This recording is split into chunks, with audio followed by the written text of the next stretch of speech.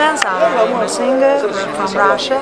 I'm a jazz singer. Uh, today it was a good, very good concert, uh, Omar Omarok, with uh, the mus musicians of um, orchestra uh, symphonique.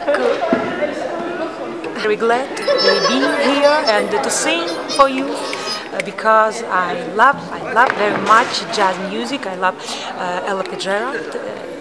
Uh, she's my favorite, uh, favorite singer. Um, and um, welcome to our concerts. welcome. And uh, today is a today is a day of jazz, International Day of Jazz.